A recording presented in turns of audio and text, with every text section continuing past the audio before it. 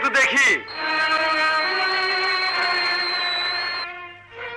Accident করে অহনো গাড়িতে বয়ে রয়েছেন আবার রঙিন চশমাও লাগাইছেন। এর লেগেই তো রাস্তার মানুষ চোখকে পড়ে না। নামেন নইলে গাড়ি মুখ বানাই দিমু।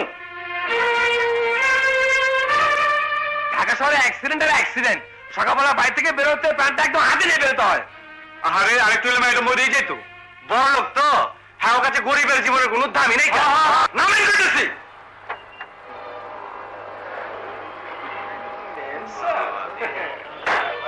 চলেন হ্যাঁ চলেন জি।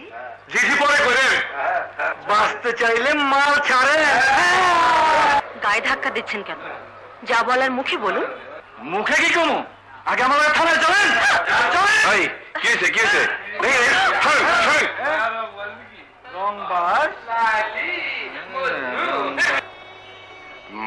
মাইয়া মানুষকে হাত দিলেন কেন হ্যাঁ? ম্যাম সাহেবের লিগে খুব দরদ দেখতেছি। তুই কে রে চান্দুল আমি? আমি নুরের ভাই। এই যে ম্যাম সাহেবের গাড়িতে ধাক্কা খাইছে। ধাক্কা খাইলো আমার বোন আপনার গত দরদ কেন হ্যাঁ? জান ম্যাম সাহেব আপনি জান আমার বোনের তেমন কিছু হয় নাই। চল চল। যার লেগে করি চুরি হাই কয় চল হ্যাঁ হ্যাঁ বুঝছি বুঝছি। এখন আন্ডারস্ট্যান্ডিং হয়ে গেছে গা। হ্যালো যাইয়া প্রেম প্রেম খেলা কত দেখলাম? ফেরি আর।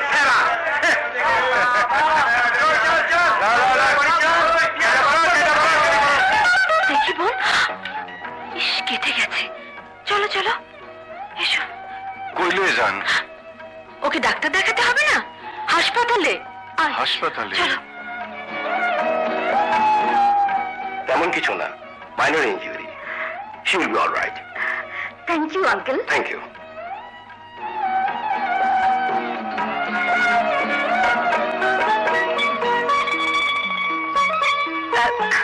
এবার কোথায় যাবেন বলুন? এহেনে আয়সা আলিমের বাসা চরকির মতো খুঁজতেছি। আলিমকে পুলিশের দারোগা। আমার ছেলে মাসুমের দোস্ত। জি।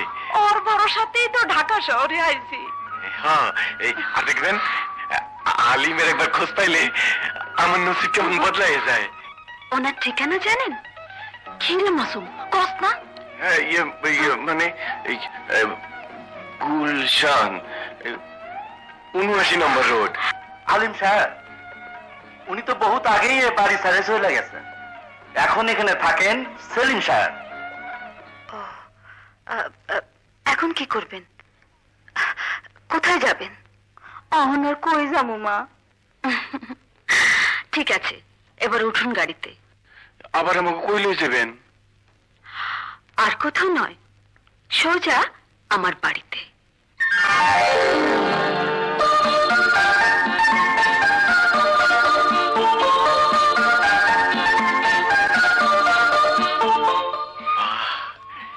কি সুন্দর বাড়ি চারিদিকে ফুল আর ফুল। গন্ধে এই মাথাটা ঘুরে যায় তাই না মা? কত বড় বাড়ি। মানুষ কই? এই বাড়িতে আমি আর আমার ম্যানেজার চাচাই থাকি। তোমার স্বামী কই মা? আমি এখনও বিয়ে করিনি। আল্লাহ এত বড় মাইয়া। অন্য বিয়া করে না একটা মানছি শুনলে কইব কি?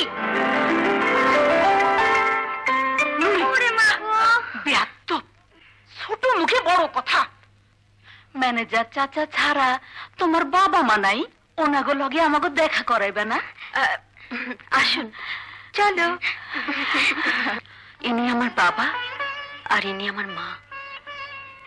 দশ বছর আগে আমাকে ছেড়ে চলে গেছেন।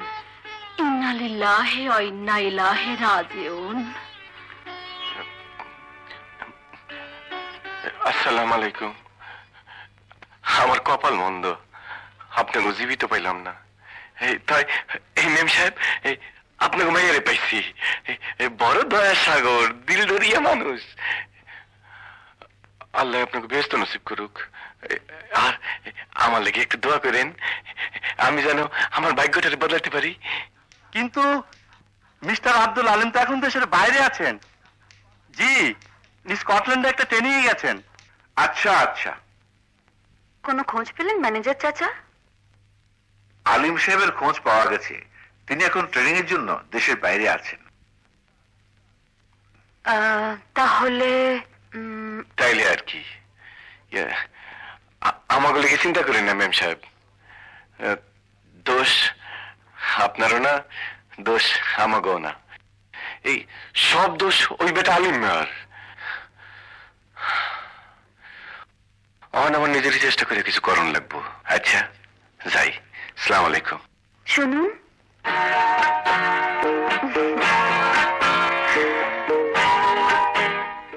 এই শহরে আপনাদের তো আর কোথাও যাওয়ার জায়গা নেই। হ্যাঁ ঠিকই তো বুঝছেন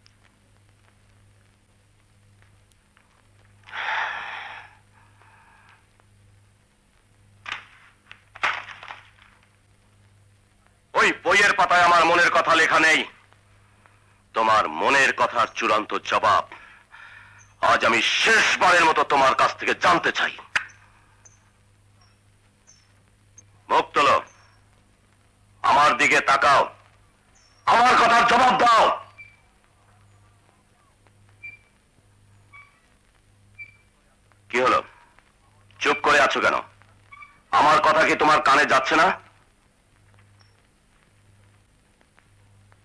তোমার এই পুরনো কথার জবাব আজ আবার নতুন করে কি দেব? হ্যাঁ নতুন করে একটি কথাই বলতে পারি। আমার স্বামী হবার যোগ্যতা তোমার নেই। মিনা তুমি কি ভুলে গেছো আমার বাবার আর তোমার বাবার সম্পর্কের কথা? তুমি কি ভুলে গেছো যে আমার বাবা আমার স্ত্রী হিসাবে তোমাকেই চেয়েছিলেন? চাইতে পারেন কিন্তু চাইলে তো আর পৃথিবীতে সবকিছু পাওয়া যায় না। বামন হয়ে চাঁদে হাত বাড়ালে চাঁদকে ধরা যায় না। আমি বামন। তুমি চাঁদ। এত কিসের অহংকার তোমার? তুমি কি ভেবেছো তোমার অর্থ প্রাচুর্য গাড়ি বাড়ি এসবের লোভী আমি তোমাকে বিয়ে করতে চাইছি? এর কোনটার অভাব আমার আছে? অভাব আছে মিস্টার মুনির। টাকা পয়সা সবকিছু থাকলেও আপনার অনেক কিছুরই অভাব আছে। আপনার শিক্ষার অভাব রুচির অভাব চরিত্রের অভাব সবার উপরে আপনার মনুষ্যত্বের অভাব। আর এই জন্য আমার চোখে আপনি এই সমাজের একটা ক্যান্সার যথেষ্ট হয়েছে। আর একটি কথা বলেছ তো এই মুহূর্তে এখান থেকে তোমাকে তুলে নিয়ে গিয়ে বিয়ে করব। দেখি কোন বাপের বেটা আমাকে ঠেকায়। দেখ, তোরে কোন বাপের বেটা ঠেকাইলো। একলা বাড়ির মানুষ পাই বাহাদুরি। ম্যাম সাহেবের কাছে মাপতা? নইলে হাত দেখছোস? এই হাত দিয়ে লগি চালাইছি, বইটা বাইছি লাঙ্গল চালাইছি খেত নিরাইছি জলদি মাপতা। নইলে আগাছার মতো তরুণ নিয়ে ফেলাই দেবো। হোয়াট ইজ দিস কালা মুরগি আন্ডা দিস। মিস্টার মাসুম ওকে যেতে দিন।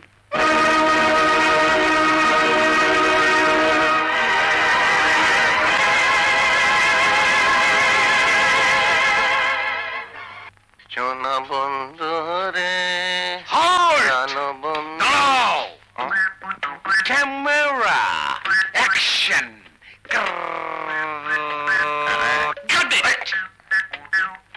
পাগল না পেট খারাপ। পেয়ে গেছি। কি পেয়েছেন? ট্যালেন্ট প্রতিভা।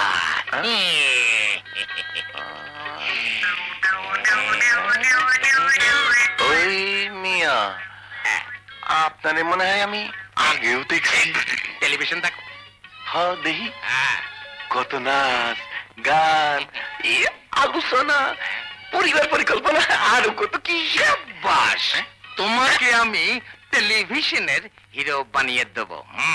হিরো হইলে আমার কি লাভ? লাভ মানে? কত বড় বড় হিরো হিরোইন বানালাম আমি?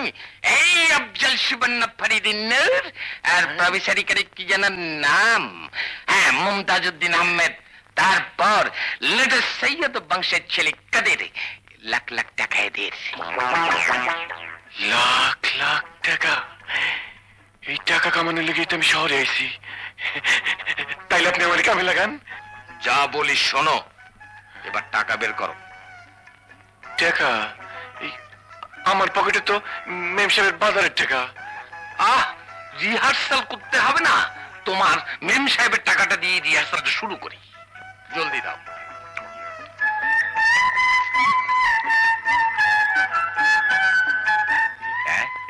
এক হাজার আছে। আপাতত এতেই চলবে। নাও শুরু করো। বাবা তোমার জন্য টাকা এনেছি ওষুধ এনেছি বাবা হ্যাঁ। তোমার জন্য টাকা এনেছি ঔষধ এনেছি বাবা বলো। বাবা বাবা তুমি মরে গেলে আমার কি হবে গো? তুমি মরে গেলে আমার কি হবে গো। আরও জোরে কাদার তোমার আমার অভিনয় কেমন হলো?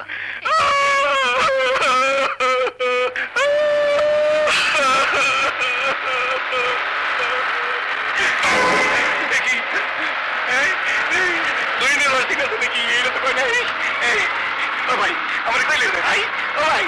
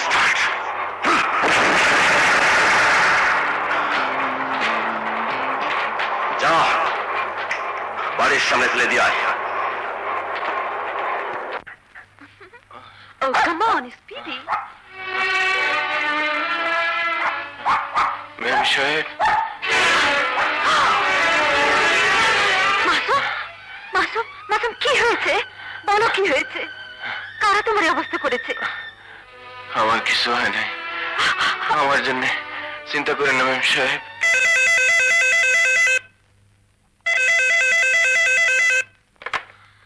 হ্যালো তোমার শুভাকাঙ্ক্ষীর অবস্থা নিশ্চয়ই দেখেছ। আমাকে অপমান করার প্রতিশোধ কি হতে পারে তার সামান্য নমুনা আজ আমি তোমার কাছে পাঠালাম। মনির তোমার প্রতিশোধের নমুনা তো আমি দেখেছি। আর আমার প্রতিশোধের নমুনাও তুমি দেখবে।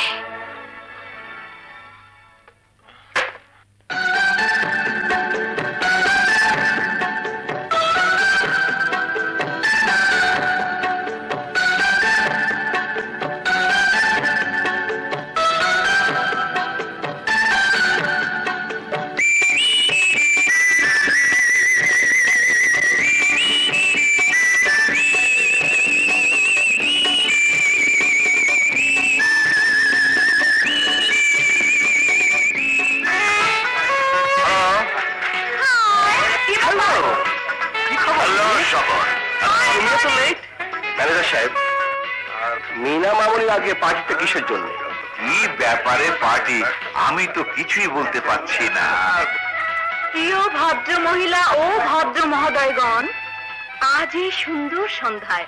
আপনাদের জানাতে চাই, আজ সকালে মরহুম শিল্পপতি আরিফ কাজীর একমাত্র কন্যা। মিনা শারমিন কাজীর সঙ্গে মাসুম হোসেনের শুভ বিবাহ সম্পূর্ণ হয়েছে।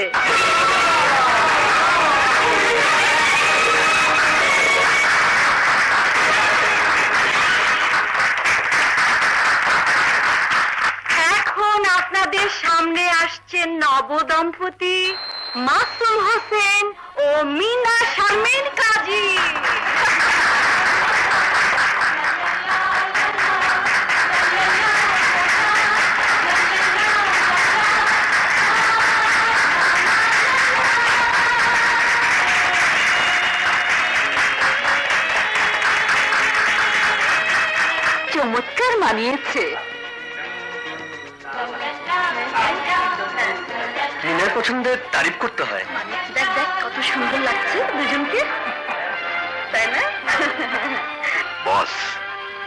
আমি জানতাম মিনা কাজী একদিন আপনারই হবে।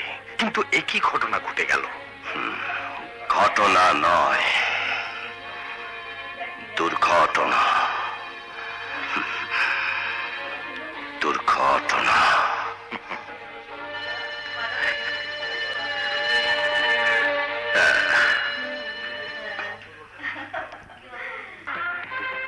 এত দামি হীরা? দাম ছাড়া হিরে হয় না মাসুম সাহেব। এই দামি হিরে দিয়ে মিনা জুয়েলার্স থেকে আমার মেয়ের বিয়ের গড়া তৈরি করে দিতে হবে। হয়ে যাবে। ইয়ে, তা কতদিনের মধ্যে ডেলিভারি চান? যত তাড়াতাড়ি দিতে পারেন। ঠিক আছে আগামী সপ্তাহে আসুন। আচ্ছা তাহলে আসি। সালাম আলাইকুম। ওয়ালাইকুম আসসালাম। মাসুম সাহেব জি। আমার হীরা যেমন দামি অলংকার সেটটা যদি তেমনি দামি হয়। আপনি নিশ্চিন্ত থাকতে পারেন।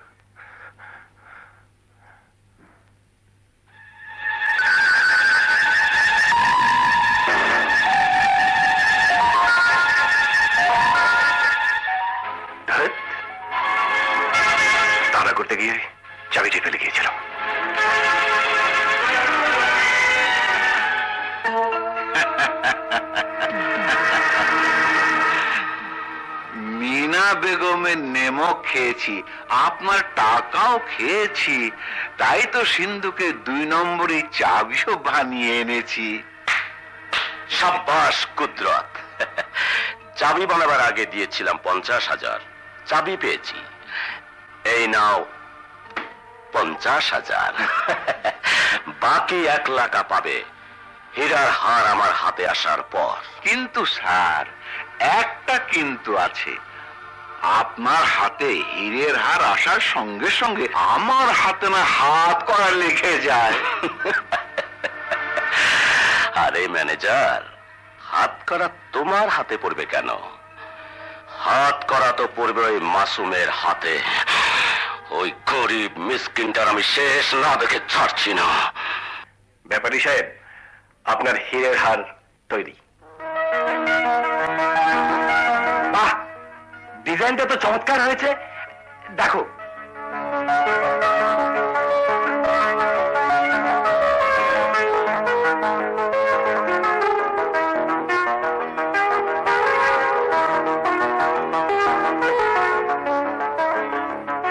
এ তো নকল হীরা। কি? আমি আপনাদের পুরনো কাস্টমার আমার সঙ্গে ধরনের ধোকাবাজি অর্থ কি? নকল। অথচ আপনি বলছেন সিন্ধুক থেকে কেউ আসল হার চুরি করে নকল হার রেখে দিয়েছে? জি। আপনি কি সিন্ধুকের চাবি কাউকে দিয়েছিলেন? তালার নাম্বার কাউকে বলেছিলেন?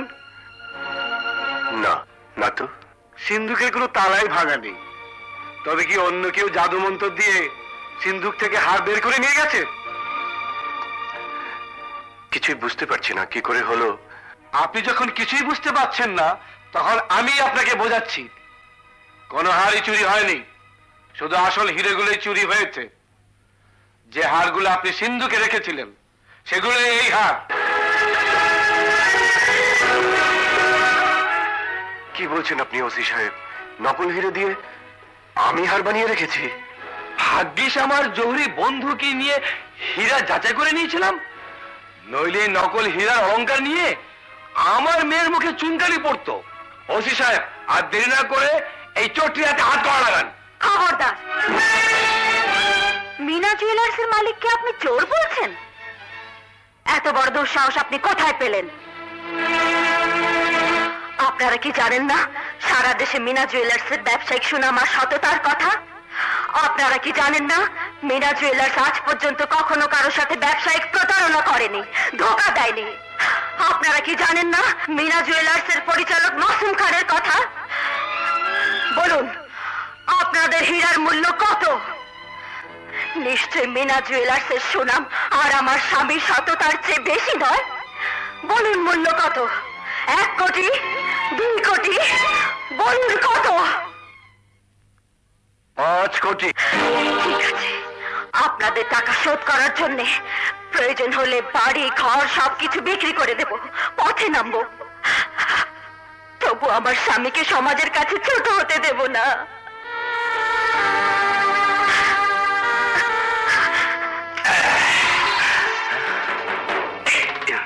এত সোনা কি করে পার করে আনলি?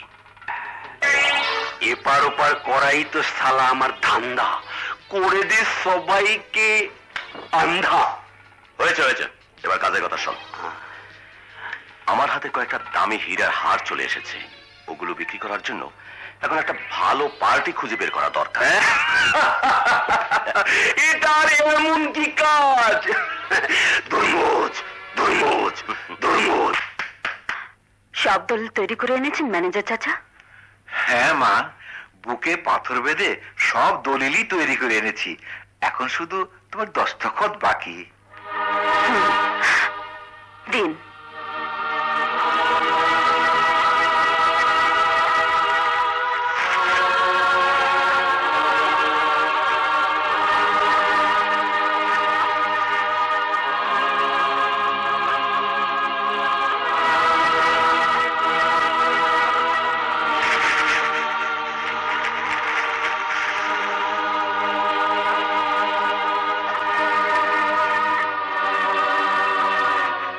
বুঝে পেলাম।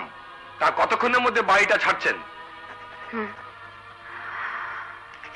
এক্ষুনি, এই মুহূর্তে।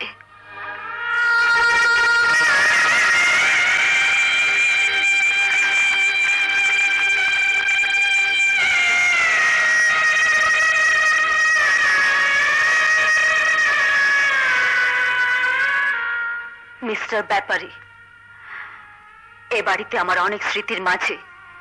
শুধু একটি স্মৃতি আমি নিয়ে যেতে চাই যদি আপনার কোনো আপত্তি না থাকে। স্মৃতি? কেমন স্মৃতি? আমার আমার বাবা মায়ের ছবি। বাবা মায়ের ছবি? ওটা যে আমি কি করব? নিয়ে যান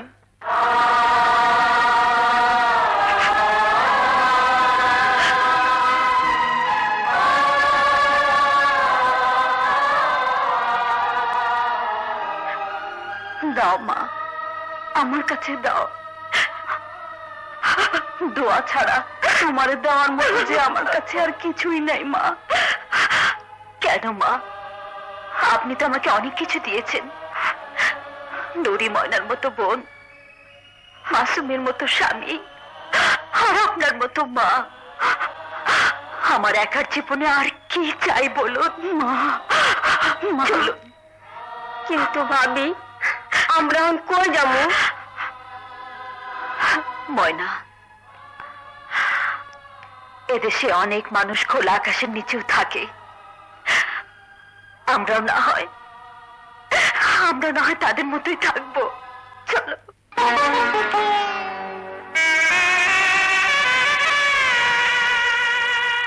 ঐশ্বর্য প্রাচুর্য ছেড়ে এখানে এসো, আমার কোনো দুঃখ নেই বাবা। চেয়ে দেখো বাবা। তোমার মেয়ে এখানে সুখেই আছে শান্তিতেই আছে। মায়ের মমতা বোনের ভালোবাসা স্বামীর সোহাগ সবই আমি এখানে পাচ্ছি। নিজেকে আমার কাছে অপরাধী মনে হচ্ছে।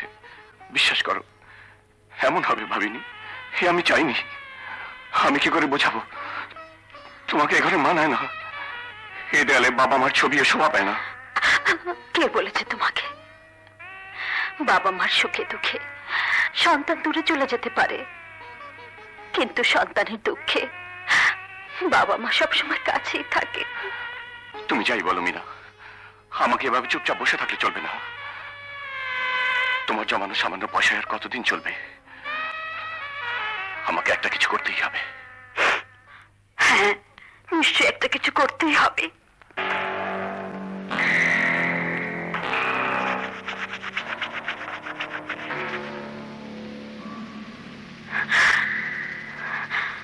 তুমি? তুমি এখানে? তুমি যেখানে আছো সেখানে কি আমি না এসে পারি? তোমাকে যে আমি কিছুতেই বলতে পারছি না। সংযত হয়ে কথা বলো। আমি এখন একজনের স্ত্রী। মাই ফুট তাতে কি হয়েছে? তোমার আমার ব্যাপারে কোনো রীতিনীতি আমি মানি না। আর সমাজ ভালো করেই জানে এমকে যা চায় তা অর্জন করেই ছাড়ে। ভালো চাও তো এক্ষুনি এখান থেকে চলে যাও। আর বোকামি করো না মিনা। ভেবে দেখো তুমি কোথা থেকে কোথায় নেমে এসেছ? এখনও সময় আছে। মাসুমকে তালাক দিয়ে আমার হাত ধরে চলো। এত বড় স্পর্ধা তোমার। আমার স্বামীকে তালাক দিতে বলছো? কি? তোমার এখনও সেই অহংকার? তোমার এই অহংকার গড়িয়ে দেবার জন্য যদি তোমার স্বামীকে লাশ বানিয়ে দিই?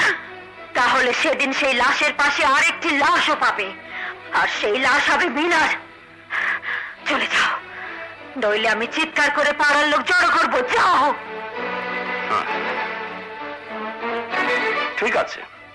এই পাড়া থেকে যাচ্ছি। তবে শহর ছেড়ে যেদিন যাব, সেদিন তোমাকে সঙ্গে নিয়েই যাব। এটাই আমার শেষ কথা।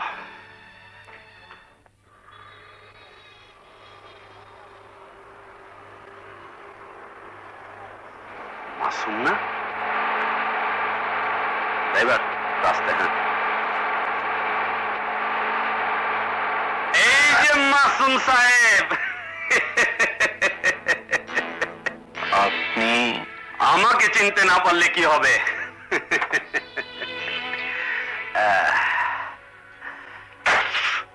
আপনাকে আমি ঠিকই চিনেছি।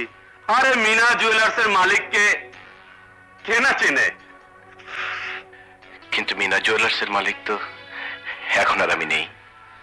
তা জানি। আপনাদের দুর্ঘটনার জন্য আমি দুঃখিত। এককালে আমারও জুয়েলারি ব্যবসা ছিল। এখন ট্রান্সপোর্টের ব্যবসা করি। তা আপনি কি করছেন? একটা কাজ করছি। কাজ করছেন? সত্যি আপনি কাজ করবেন? হ্যাঁ। এই মুহূর্তে আমার যে কোনো একটা চাকরির দরকার। আপনার অ্যাপয়েন্টমেন্ট লেটার কিছু মনে করবেন না। আমার ট্রান্সপোর্ট কোম্পানির সুপারভাইজারের সামান্য একটা চাকরি। কোনো কাজই সামান্য নয়। প্লিজ অ্যাপয়েন্টমেন্ট লেটারে সই করুন।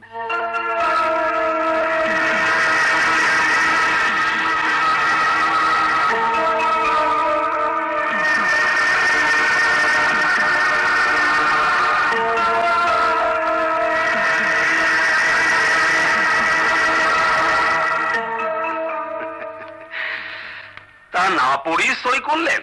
পড়ার কি আছে? এই মুহূর্তে যে একটা কাজ পেয়েছি, এতেই আমি খুশি। আপনার মাসিক বেতন ছ হাজার টাকা। ছয় হাজার টাকা? হ্যাঁ। আর এই নিন, আপনার এক মাসের অগ্রিম টাকা। আপনার মতো ভালো মানুষও এই শহরে আছে? ও কথা বলে শুধু শুধু লজ্জা দেবেন না। ঠিক আছে, আজ থেকে কাজ শুরু করে দিন। দেখবেন খুব শীঘ্রই আপনার ভাগ্যটা বদলে যাবে। দোয়া করবেন তাই যেন হয়। চলি। খুদা হাফিজ।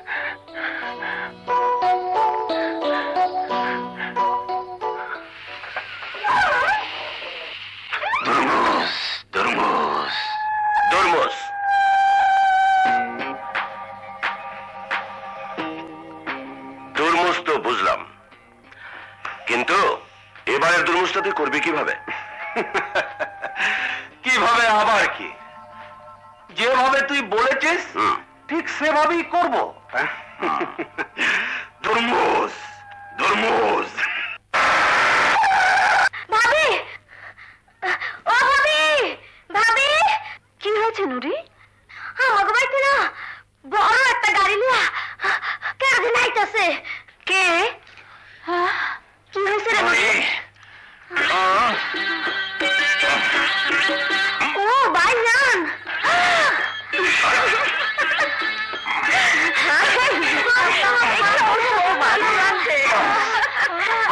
শাড়িও আছে। এই যে।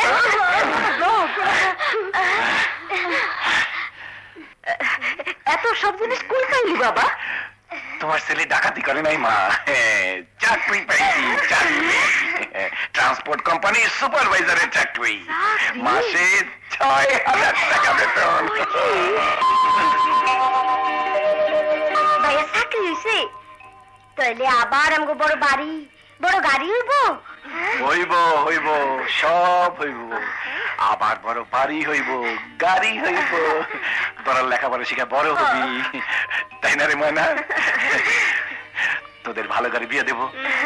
আর তাতেই আমার সব স্বপ্ন পুরো হইব। তোমরা ছাড়া আমার কে আছে? চলো ধর ধর। এই যে।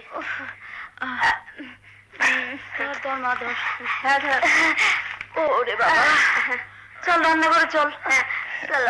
এই যে মেম সাহেব।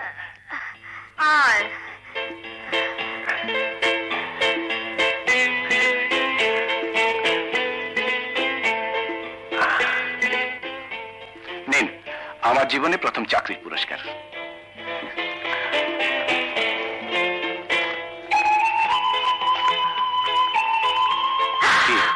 খুশি হনি নিশ্চয়ই খুশি হয়েছি। হ্যাঁ? শুনুন। একটা সয়াবিন তেল দিন তো। হুম।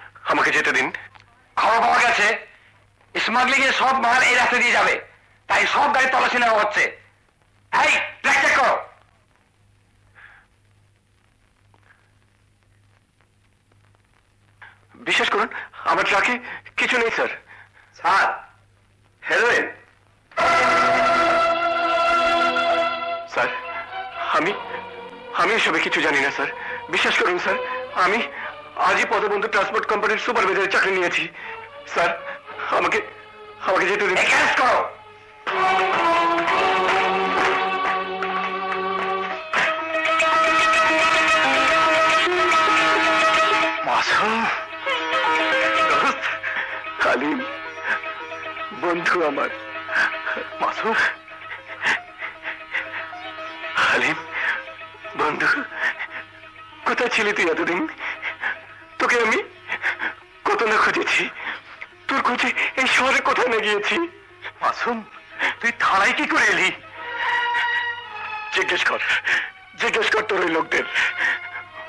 ওরাই আমাকে জোর জবরদস্তি হাত করে পড়ে এখানে নিয়ে এসেছে।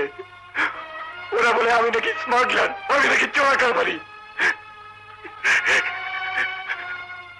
এখন তুই বল, আমি কি স্মাগলার? তুই তো তুই তো আমাকে ছোটবেলা থেকে জানিস। আমি যদি সত্যি সত্যি স্মাগলার হতাম, তাহলে কখনো অস্বীকার করতাম না, কখনো অস্বীকার করতাম না। তোর তোর লোকদের বলে দে আমাকে যেতে দিতে বলে দে। আমাকে যেতে দিতে বলে দে না। না, মাসুম, না।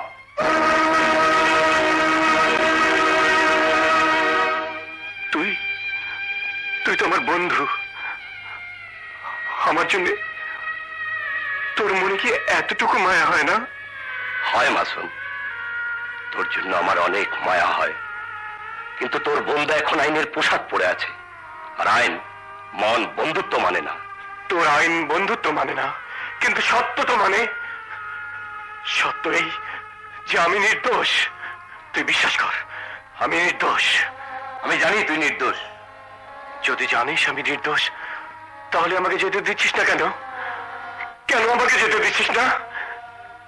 আইনের চোখে নির্দোষ প্রমাণ না করা পর্যন্ত তোকে আমি যেতে দিতে পারি না। তুই আমাকে সেই লোকদের কাছে নিয়ে চল। যাদের সঙ্গে তুই কাজ করিস। আমাদের ট্রাকে হিরোইন এসব কি বলছেন ইন্সপেক্টর সাহেব? ও তো আমাদের ট্রাক ভাড়া নিয়েছিল।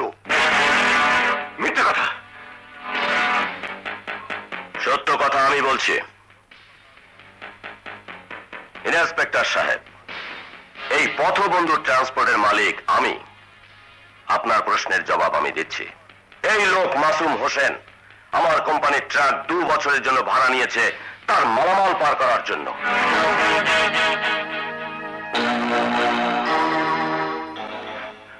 মিথ্যে সব মিথ্যে এবং অগ্রিম বাবদ, সে টাকাও আমাদের দিয়েছে। না, মিথ্যে কথা।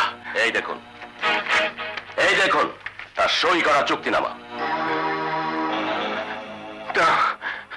সব মিথ্যে আজ তোকে আমি খুন করে দেবো খুন করে দেবো দেখলেন? দেখলেন ইন্সপেক্টর সাহেব? সে আপনার সামনেই, আইনের সামনে। সে আমাকে খুন করতে চায়। এবার বুঝুন, সে কত বড় ক্রিমিনাল কত বড় স্মাগলার স্মাগলার তুই, তোর বাপ, তোর চন্দ্র গোষ্ঠী। ওই বেটা ওই বেটা স্মাগলার তুই বলছিস মুখের কথা। আমি বলছি কাগজের কথা। দেখুন ইন্সপেক্টর সাহেব সব জায়গাতেই ওর সই আছে। ওরা ওরা মিথ্যে কথা বলছে মিথ্যে কথা বলছে। এই লোকটা আমাকে চাকরি দিয়েছিল। আর আমাকে ছ হাজার টাকা অগ্রিম বেতনে দিয়েছিল। কি মিথ্যাচার? বাহ! এদের চিনে রাখুন ইন্সপেক্টর সাহেব। এরা দেশ ও জাতির দুশ্মন। এ বাটা হেরোইন স্মাগলার এদের জন্য গোটা যুব সমাজ আজ ধ্বংস হতে যাচ্ছে। এদের ফাঁসি হওয়া উচিত।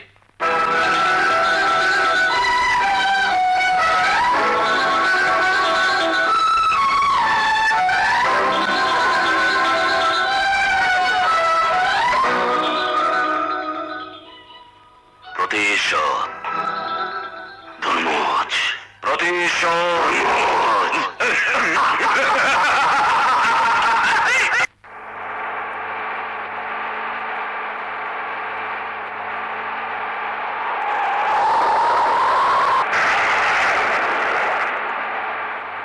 দোস্ত আমার মনটা ছটফট করছে।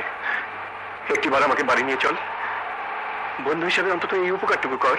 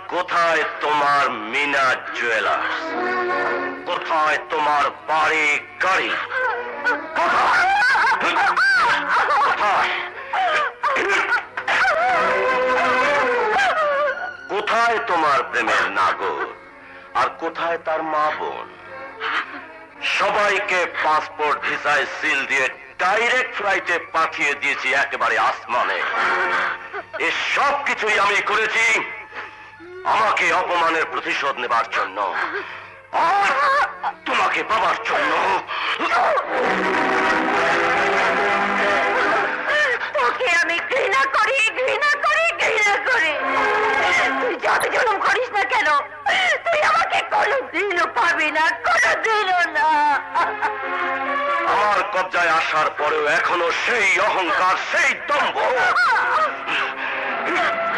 জানো, ইচ্ছে করলে এই মুহূর্তে আমি তোমাকে মেরে ফেলতে পারি, ভোগ করতে পারি।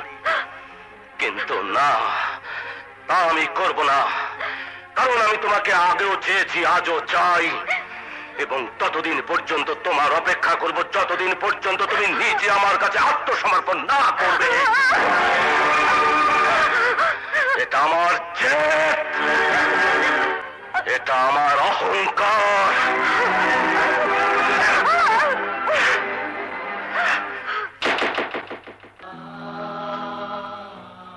মাসুম হোসেন, পিতা মরহুম আনিস হোসেন, তোমার বিরুদ্ধে চোরা কারবারি মামলার শুনানি শেষ হয়েছে। সাক্ষীদের জবানবন্দি এবং কাগজপত্র পরীক্ষা করার পর এটাই প্রমাণিত হয় যে তুমি চোরা কারবারে অপরাধী। অতএব বাংলাদেশ দণ্ডবিধির উনিশশো সালের বিশেষ ক্ষমতা ধারা চব্বিশ নম্বর মোতাবেক আদালত তোমাকে দশ বছরের কারাদণ্ডে দণ্ডিত করছে। আমার কিছুই মনে পড়তেছে না। আমি কিছুই জানি না। আমার অনুমানই ঠিক। মাথায় বিরাট আঘাত পেয়ে মেয়েটি তার স্মৃতিশক্তি হারিয়ে ফেলেছে। অতীতকে ভুলে গেছে। কেন আমার এমন হলো? কোনো অন্যায় না করে, অপরাধ না করে, কেন আমার জীবনের সব কিছু এলোমেলো হয়ে গেল? একটা অনুরোধ। যতদিন এই জেলখানার অন্ধকার কক্ষে বন্ধ আছি ততদিন তোর ভাবি আর নুরিকে খুঁজে বের করে ওদের দেখাশোনার দায়িত্ব তোকে আমি দিলাম। ও কথা বলিস না দোস্ত। হে যে আমার কর্তব্য। জানি না ওরা কোথায় আছে কেমন আছে।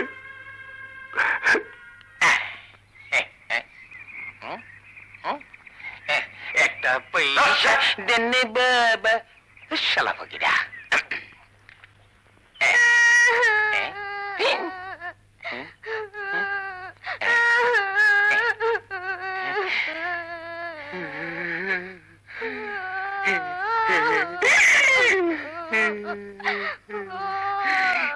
শালা কলার বাচ্চা কলা কেন কাঁদো বাবা কলা, যতই তুমি কাঁদো আর যতই ছলা কলা করো, তোমাকে আমি খাবই খাব? হ্যাঁ?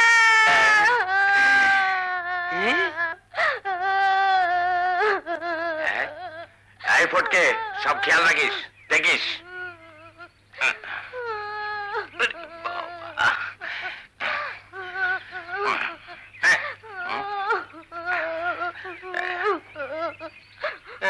না না না কাঁদে না কাঁদে না। এই মেয়ে তুই কাঁদিস কেন? যা যা যা বাড়ি যা। নইলে ছেলে ধরা এসে ধরে নিয়ে যাবে। আমার বাড়ি নাই। আরে বাবা কেউ তো আছে। মা বাবা ভাই বোন। আমার কেউ নাই। হ্যাঁ? ইয়ে কেউ নেই। তবে কি ডাইরেক্ট নেমে এলি আমার খিদা লাগছে। খিদা? শালা এই জিনিস সবারই তা ঠিক আছে মা তুই খা। দেখ তোর কেউ নেই আমারও কেউ নেই। তা তোর যেমন আমারও তেমন। কেউ থাকলে থাকতে পারে। জেল খাটতে খাটতে পুলিশের চেহারা দেখতে দেখতে আমি শালা আমার আপন মানুষের চেহারাটাই ভুলে গেছি। তুই আমার আপন হবি? খা। আজ থেকে তুই আমার মেয়ে হবি? হ্যাঁ। ভেরি গুড দেখ মা এখন আমি তোকে দুই কথায় আমার জীবনের হিস্ট্রি বলে দিচ্ছি। প্রথম আমি ছিলাম ছেঁচড়া চোর। তারপরে হলাম ফ্রড মানে ধোকাবাজ। তাতেও শালা খিদা মেটে না। তারপর হলাম ফকির। তাই তুই ফকির হতে পারবি? হ্যাঁ পারুম। তুমি যা কইবা আমি তাই করুম। ভেরি গুড তো বিসমিল্লা করে শুরু কর। একটা টাকা দিয়া যান আমি গরিব ইনসান।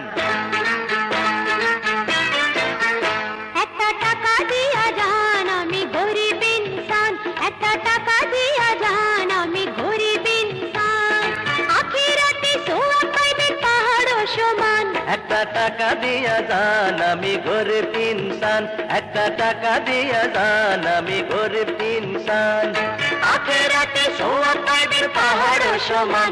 একটা টাকা দিয়া যান, আমি গরিব ইনসান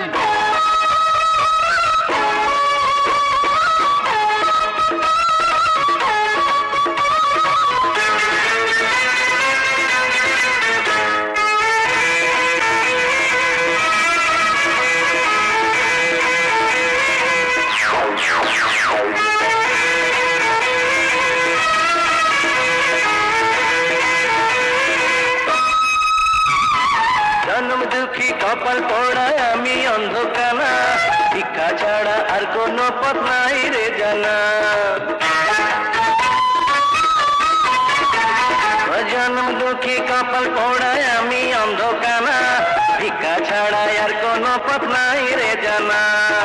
বেশি পাচার পাইরো না তো বাজার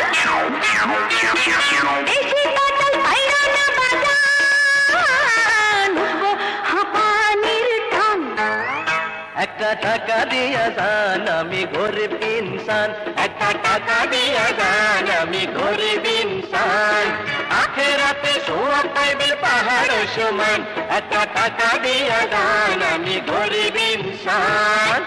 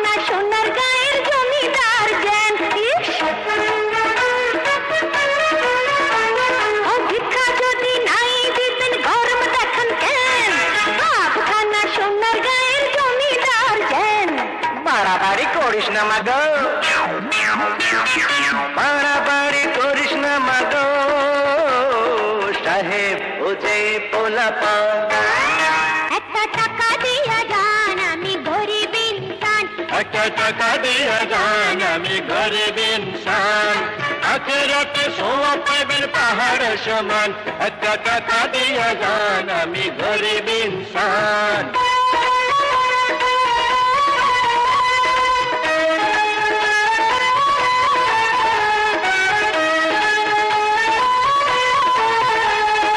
বাবা ডিস্কোতে যাবে না?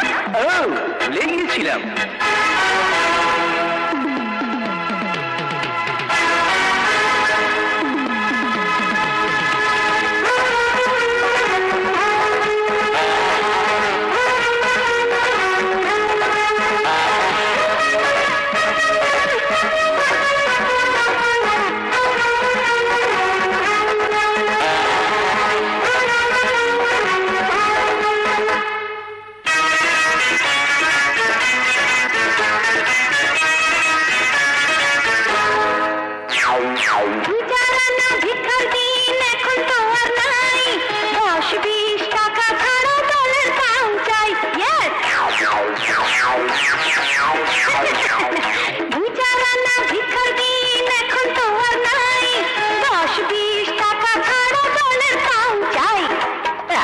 ডিমান্ড করিস না মাগো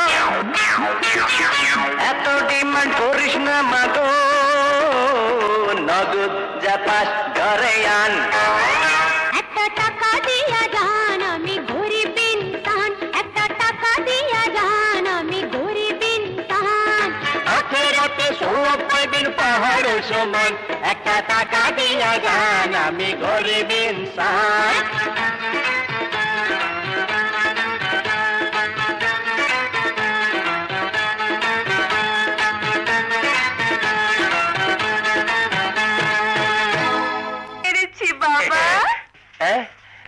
কি ব্যাপার এত বিদেশি নোট। আমাদের দেশে তো একটাও নেই রে। তাই তো? হ্যাঁ, আর তাতে এটাই বোঝা যাচ্ছে যে এই ব্যাগের মালিক ইন্টারন্যাশনাল নাম্বারই চোর। এমন লোকের টাকা মারাও সোয়াব। আরে সারাদিনটা মাটি ঘুরে ফেললাম রে হাওয়া হাওয়া ও হাওয়া দে দে দে! চল। আরে।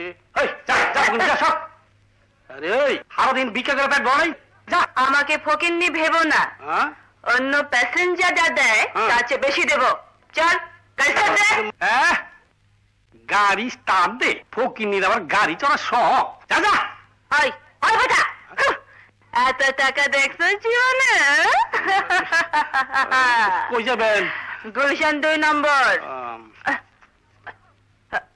কি হাউস না কল না। কল হ্যাঁ? হুম, এখন সন্ধ্যে ঠিকই যাইবা তাহা তাহা তাহা তুমি আমার জানতে হ্যাঁ এই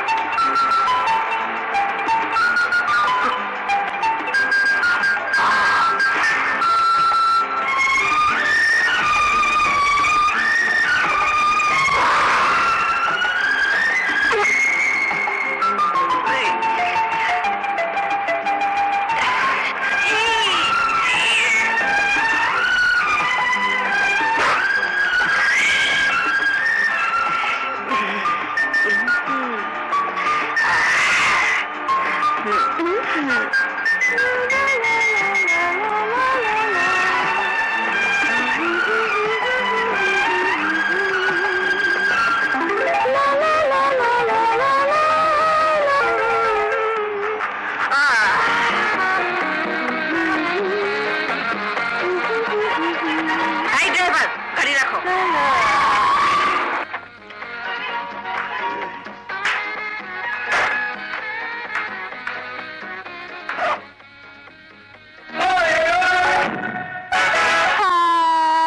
হা করে কি দেখছিস? কত ভাড়া হয়েছে বল। আশি টাকা। বাকি বিশ টাকা বের কর।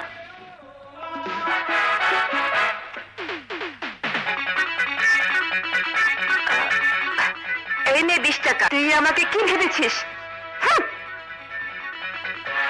ওরে বাবা রে এইটা আবার কি দেখলাম?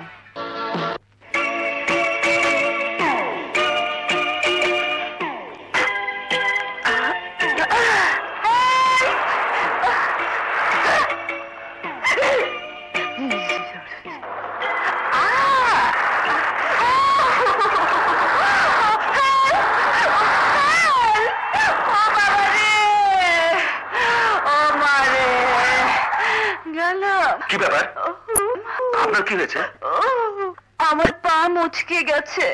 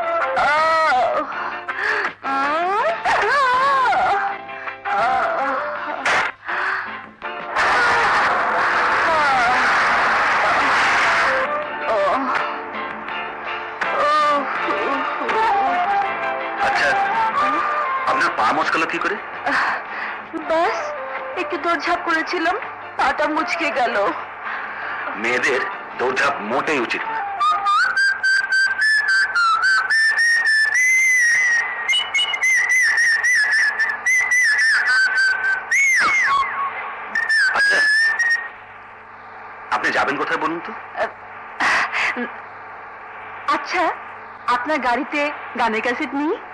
জি আছে। শুনবেন? বাজান না।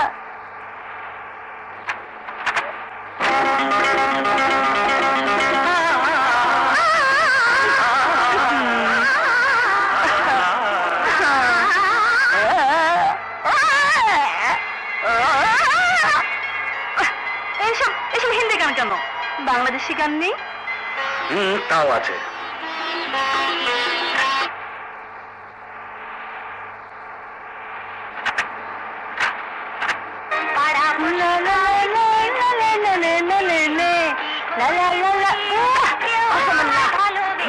লা।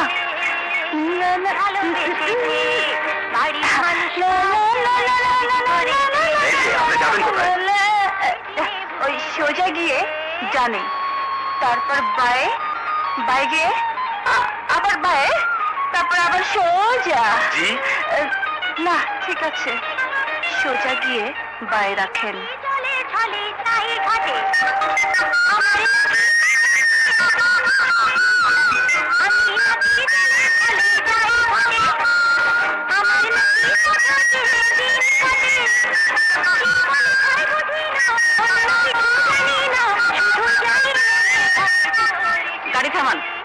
ও আপনি এখানে থাকেন?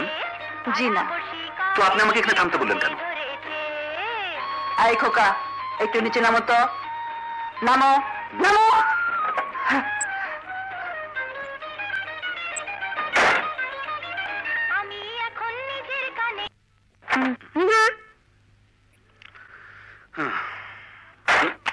খবরদার। ভয় পেয়ে গেছো? নিজের জীবন তাহলে খুব ভালোবাসো হ্যাঁ? নিজের জীবনকে কেনা ভালোবাসে? জীবনকে যদি এতই ভালোবাসো তাহলে তো জীবনে মূল্য দিতে হবে। তোমার গাড়িতে তোমার পকেটে তোমার হাতে যা কিছু আছে সব আমাকে দিয়ে দাও। আর যদি আমি না দিই? না দিলে এই ছুরি দিয়ে আমি আমার শরীরকে রক্তাক্ত করব পুলিশকে ডাকবো বলব তুমি আমাকে ভালোবেসেছ। তারপর ধোকা দিয়ে। চতুর্থ চেয়েছো আর এই অপরাধের দায়ে তোমার বিশ বছরের জেল হবে। বিশ বছরের জেল? একটু দয়া করুন। আমার অন্তরে কোনো দরমায় নেই। সব বের করো। বের যখন করতে পারছি না তো আপনি পুলিশে ডাকুন। পুলিশ? দেখো। এখনও ভেবে দেখো। পুলিশ এলে কিন্তু আর নিস্তার নেই। খবরদার! খবরদার! গুন্ডা চাকু ফেলে দিয়ে সোজা হয়ে দাঁড়া। আমার মগজ এখন কাজ করছে বুঝতে পেরেছি। যুবক যুবতী এই গড়ি। আপনি ঠিকই বলেছেন পুলিশ সাহেব। এখনও সময় আছে। আমি কিন্তু কথা পাল্টিয়ে আপনাকে বাঁচাতে পারি। আপনি যা ইচ্ছা করতে পারেন। আমি আপনার কোনো কথাই মানতে রাজি নই? এত বড় কথা? আইনকে তিন ভেবো না। এই মেয়ে সত্যি করে বলো তো কি হয়েছে? বাবা! এই, বাপ না পুলিশ। না মানে পুলিশ সাহেব হ্যাঁ। লোকটা হ্যাঁ। লোকটা আমার ইজ্জত লুটতে চেয়েছিল। আমাকে থানা নিয়ে চলুন। কি? ইজ্জতে হাত? কি সাংঘাতিক কথা? হাত ভেঙে দেবো। পা গুড়িয়ে দেবো। তারপর লুলা বানিয়ে রাস্তায় রাস্তায় ভিক্ষে করাবো। একটা পয়সা দেনে বাবা। যুবক গাড়িতে ওঠো জি স্যার জি। আপনি আগে উঠুন। আপনি আইন। হুম। আপনাকে সম্মান করা আমার কর্তব্য। উঠুন উঠুন। এই। ওটা বন্ধ করো বন্ধ করো। গাড়িতে ওঠো ওঠো গাড়িতে। উঠুন। ওঠো গাড়িতে। আমি আগে উঠি। এই কোথায় হাত দাও? তাড়াতাড়ি গাড়ি চালাও। তাড়াতাড়ি। নইলে গুলি করে দেবো। কোথায়? কোথায় সেই বেয়াদব? যে এতক্ষণ এখানে মাস্তানি দেখাল তুমি এখনই টের পাবে কে আসল মাস্তান। চলো। গায়ে হাত দেবেন না। যাও। আপনিও না, যান, ভেতরে। কি অন্যায় কি অবিচার। পুলিশ হয়ে পুলিশকে হাজতে বন্ধ করে। আপনি কোথাকার পুলিশ? আমি আমি আমি কোথাকার পুলিশ রে? আমি মহল্লার পুলিশ। মহল্লার পুলিশ? তা এখনই দেখা যাবে। আরে হ্যাঁ আমিও দেখে নেব। বাবা। হ্যাঁ। এখন কি হবে? কি আর হবে? ফাঁসিয়েছিস তো তুই। এখন আমার উপর ভরসা রাখ। জোরে জোরে কাঁদ। কাঁদবো?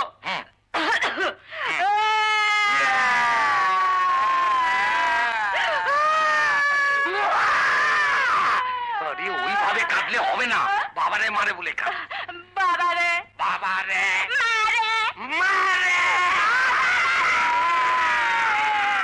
বাবা বাবা তোমার মুখ খুলে গেছে। তোরা যখন পড়ে গেছি তখন আর মুখ দিয়ে কি হবে বাবারে। এই, এই, এই, কি? বাবারে। হ্যাঁ, মারে মারে বাবারে বাবারে। এ তো আসল বাবারে হ্যাঁ। সালা সালাম আলাইকুম স্যার আসুন না স্যার আমার মেয়ে ডাকছে স্যার আমাদের মাফ করে দিন স্যার। আমরা আর জীবনে কাজ করব না স্যার। আমাদের আল্লাহর ওয়াস্তে মাফ করে দিন। তোমাদের মাফ করা যাবে না? তোমাদের মতো লোকদেরই আমি খুঁজছিলাম। কেন খুঁজছিলেন স্যার?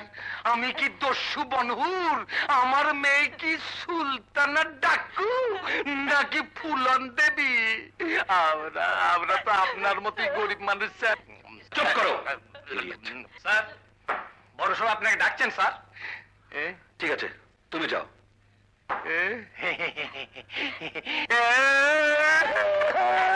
নে শুরু কর।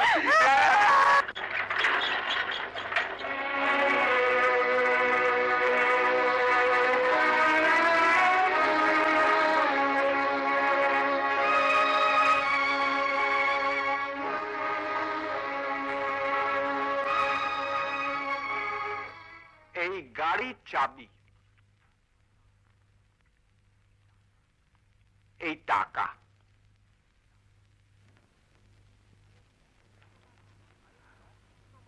আর এই লকেট তোমার আমানত।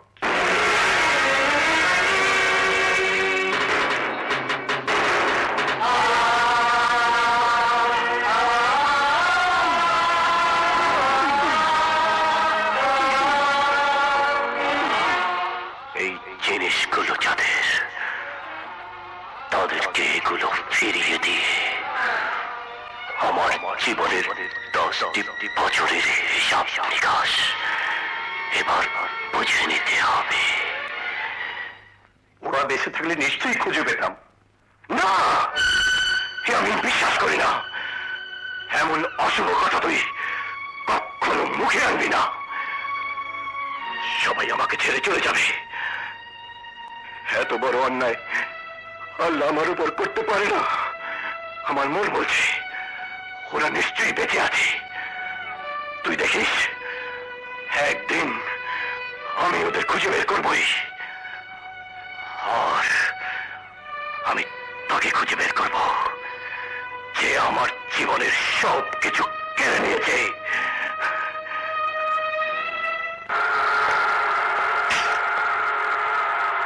মনির খান চিনতে পারো এই চাবি।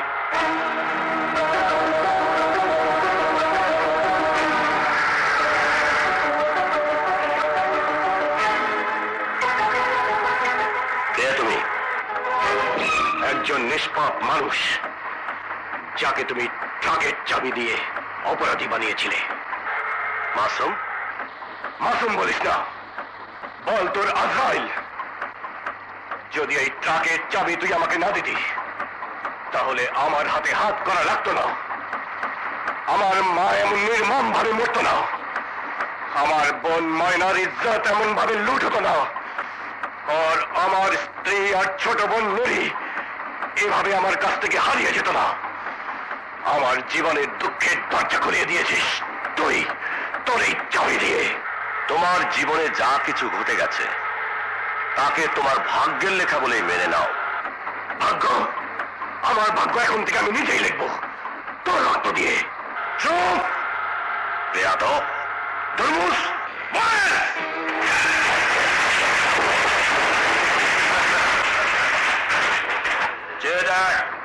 মৃত্যু তোকে চার দিক থেকে ঘিরে ফেলেছে।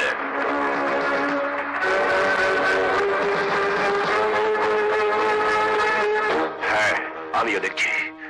চার পাশে মৃত্যু ঘিরে আছে। কিন্তু সে মৃত্যু আমার নয় তোর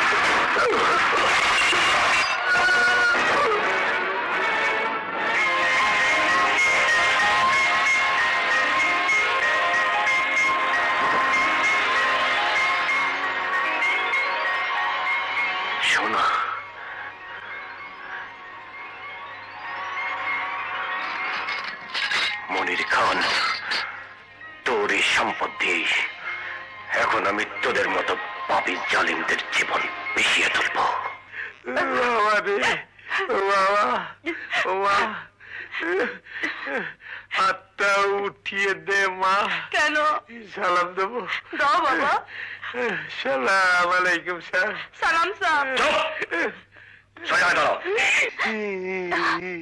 এর চেয়ে বেশি সোজা আমি হতে পারি না স্যার। আপনার লোকেরা আমাকে না সোজা হয়ে দাঁড়াতে দিয়েছে না বসতে দিয়েছে। তাই আমি মাঝেই রয়ে গেছি স্যার। ঠিক করেছে। আপনার লোকেরা অনেক মেরেছে স্যার। ঠিক করেছে। তোমাদের এই করা উচিত। স্যার আমাদের মাফ করে দিন স্যার। তোমাদের মাফ করা যায় না। এই জন্য যে তোমরা নিরীহ মানুষকে ঠকাও সরল মানুষকে ভাওতা দাও। কি ধরা তো পড়লাম। মা তুই চুপ কেন? তুইও স্যারকে কিছু বল। স্যার স্যার আমাদেরকে ছেড়ে দিন। আল্লাহ আপনার বউ বাচ্চাকে ভালো করবে। আমার বউ নেই। বাচ্চাও নেই তাহলে আমি ঘটকালি শুরু করি স্যার। যাও এখান থেকে। Get out!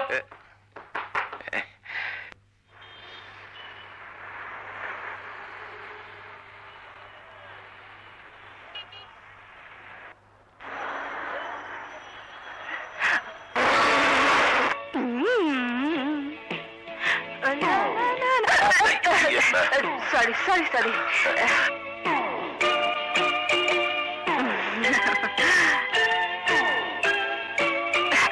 মাফ করবেন না না মাপ চাইবার কি আছে আরেকটা ধাক্কা দাও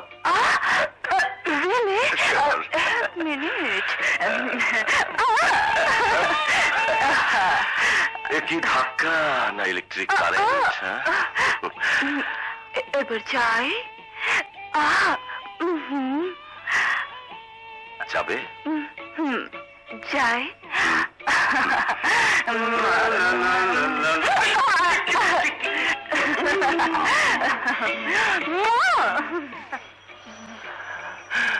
তরমুজ তরমুজ গেট ইন সরি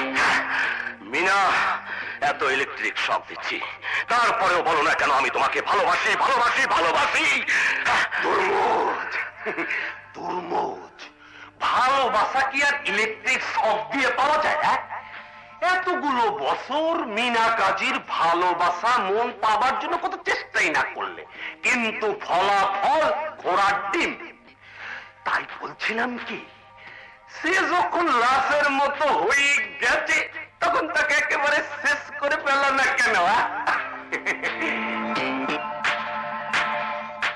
এই ইলেকট্রিক শক ততদিন চলবে। যতদিন না মিনা মাসুমের সব স্মৃতি ভুলে গিয়ে শুধু আমাকে ভালোবাসবে, আমাকে আমাকে আমাকে! তোমাকে আরও একটা গুরুত্বপূর্ণ কাজ আমি দিতে চাই।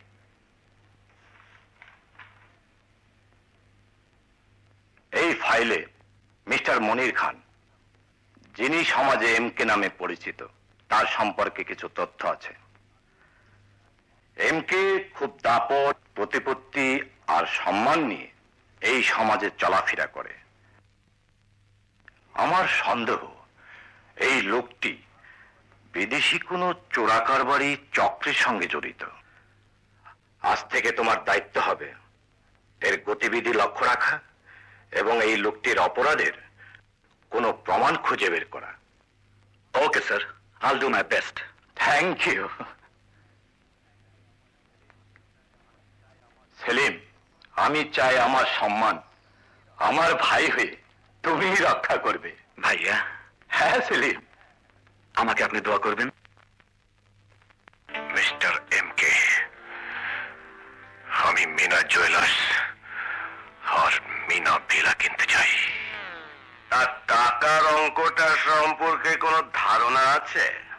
আছে। বলুন কত? এক, দুই, তিন কোটি, যতই হোক না কেন, সে সামর্থ্য এবং সাহস আমার আছে। আচ্ছা তার সাহসটা দেখালে খুশি হব।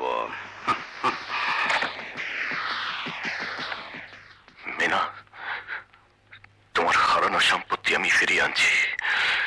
কিন্তু তুমি আজ কোথায়?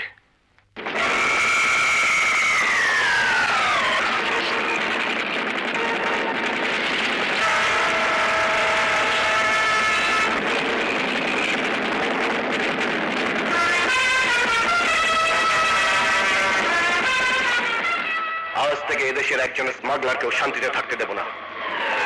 সব অত্যাচারীদের ঘুম হারাম করে দেব। কোন নির্দোষ আর বিনা দোষে জেলে যাবে না। কোন গরিবের উপর আর অবিচার হবে না। মনে রেখো, এটাই হচ্ছে আমার এই প্রতিষ্ঠানের মূল উদ্দেশ্য।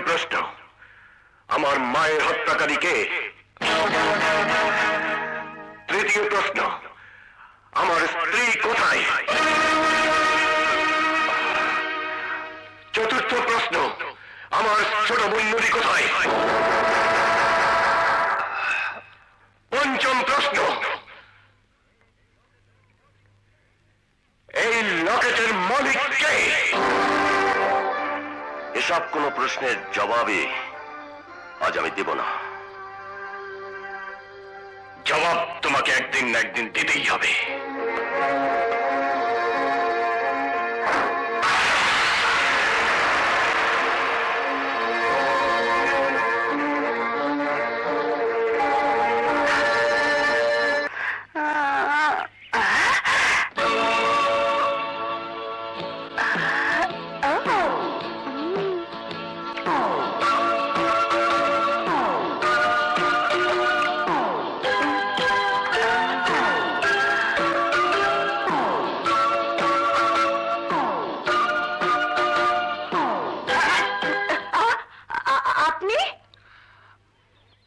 আবার সে চুরি দূর থেকে দেখেই আপনাকে চিনেছি।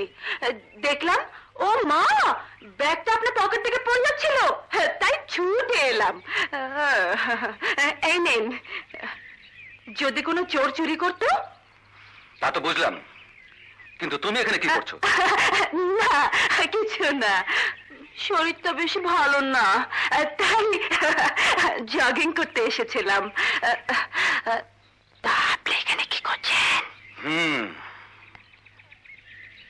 তাহলে আমি ঠিকই শুনেছি। এই পার্কে আজকাল চুরি রাহাজানি ছিনতাই হচ্ছে বলো তুমি কবে ভালো হবে? আজ তো বেশ ভালোই আছি। কাল না ভীষণ হেঁচকি উঠেছিল।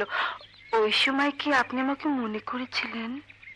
আমি মনে করিনি তবে জেল হাজত নিশ্চয়ই তোমাকে মনে করেছে। আপনি তো আমাকে আমাকে সন্দেহ করছেন। আমি আমি তোমাকে ঠিকই চিনি। দেখো এখনও সময় আছে ভালো হয়ে যাও। ভালো দেখে একটা ছেলেকে বিয়ে করে সংসারী হয়ে যাও।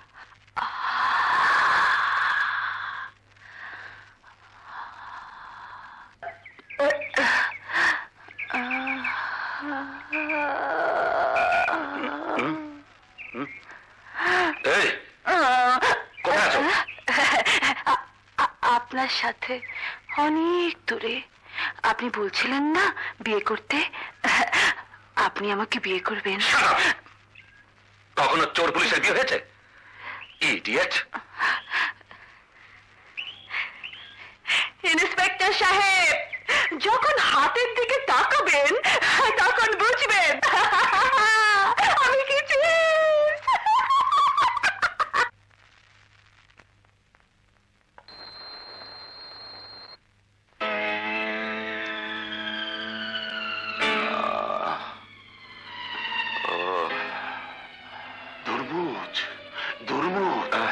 পুলিশ ইন্সপেক্টর এসেছে? নিয়ে আয়। এসেই তো পড়েছে। হ্যালো ইন্সপেক্টর কেমন আছেন মিস্টার এম কে? আমি ভালোই আছি। আপনি খামোখা কষ্ট করে কেন এসেছেন? আমি তো পুলিশের ডায়েরি টায়েরি করাইনি। আপনি না করালেও আপনার কাজটা আমিই করেছি। হাজার হলেও আপনি আমার পুরনো বন্ধু। আর ইন্সপেক্টর সাহেবকেও আমি সঙ্গে করে নিয়ে এসেছি। কোনো ভয় নেই। আপনার চারিদিকে এখন শুধু পুলিশ আর পুলিশ। নিন, আপনার জন্য শুভেচ্ছা। মনে হয় আপনি হাতে ভালোই চোট পেয়েছেন।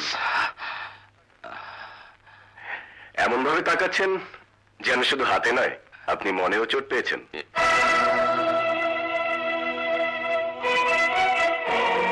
আচ্ছা মিস্টার এম কে, আপনার এমন কোন শত্রু আছে যে আপনার এই অবস্থা করতে পারে? আমি জানি না কে আমার শত্রু। আর কেনই ভাই হামলা করেছে? আপনার কারোর উপর সন্দেহ হয় যে আপনাকে এত বড় আঘাত করতে পারে? আমি কাউকে সন্দেহ করতে পারছি না। এমন তো নয় যে আপনার সঙ্গে কারও পুরনো শত্রুতা আছে? কিছু গোপন করছেন না তো? Mean? আপনি কি বলতে চান? বলতে চাই, আপনি এই অসুস্থ অবস্থায় এত উত্তেজিত হবেন না। আচ্ছা মিস্টার এমকে আমি চলি। ও, কোনো অসুবিধা হলে খবর দেবেন।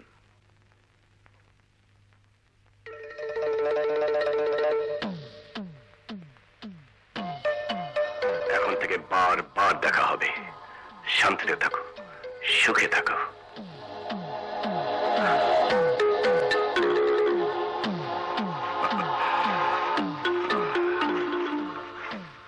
এমকে সারাকে পুলিশে ধরিয়ে দিলে না কেন? আজকের মাসুম আর দশ বছর আগের মাসুম এক নয়। ওকে এখন ধরিয়ে দিলে আমরাই ধরা পড়ে যাব। তাহলে উপায়? উপায় আছে। আঘাত পাওয়া সাপ আঘাতকারীকে কখনো ভোলে না। চবল মারার সুযোগ সে কেবলই খোঁজে।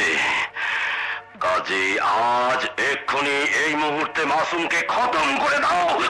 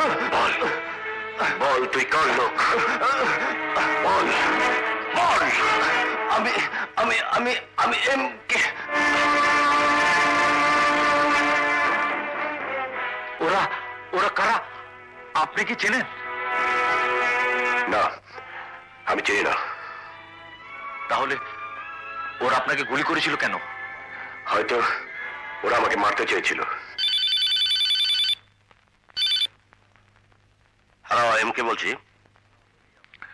তুমি আমাকে যতবারই শেষ করতে চেয়েছো এম কে হেরে গেছো। এবারও তোমার গুলির বারুদ আমাকে শেষ করতে পারেনি। তুমি বেঁচে আছো? হ্যাঁ আমি বেঁচে আছি। আর যতদিন পর্যন্ত না আমার পাঁচটা প্রশ্নের জবাব দেবে ততদিন পর্যন্ত আমাকে বেঁচে থাকতেই হবে। প্রথম প্রশ্ন কোন অপরাধে তুমি আমাকে জেলে পাঠিয়েছিলে? আমার মায়ের হত্যাকারী কে? আমার স্ত্রী কোথায়? আমার ছোট বন্ধুটি কোথায়? এই লকেটের মালিক কে? জানতে চাইলে না হঠাৎ করে বড় লোক হলাম কি করে? বহুদিন পুলিশের চাকরিতে আছি। মানুষকে দেখলেই তার বাইরের ভিতরের অনেক কিছুই দেখতে পারি। আরে হ্যাঁ সেদিন তোমার ছোট ভাই সেলিমের সাথে দেখা হলো। আমি চাই সেলিম এখান থেকে বদলি হয়ে যাক। কেন? আমি চাই না আমার ছোট ভাই তোমার হাতে হাত করা পড়াক, কারণ সে আইনের লোক। আইন? কিসের আইন? যে আইন আজ আমার মায়ের হত্যাকারীকে খুঁজে বের করতে পারেনি। আমার বোনের ইজ্জত হরণকারীকে খুঁজে বের করতে পারেনি। আমার হারানো স্ত্রী আর ছোট বোনের সন্ধান দিতে পারেনি। তোমার আইন হয়তো দুর্বলকে দমাতে পারে। কিন্তু আমার মতো সবলকে নয়। মাসুম এখনও বেঁচে আছে। সিকিবি আমাদের গুলির বারুদ ওর শরীরে একটা আচরও বসাতে পারেনি। এত বড় চিন্তার কথা দোস্ত। ওকে দুমুচ করতে না পারলে আমাদের কি হবে? ওকে শেষ করার নতুন নকশা আমি তৈরি করে ফেলেছি। আমাদের অস্ত্র শক্তি ওকে শেষ করতে পারেনি। ওকে মারতে হবে ছলে কৌশলে।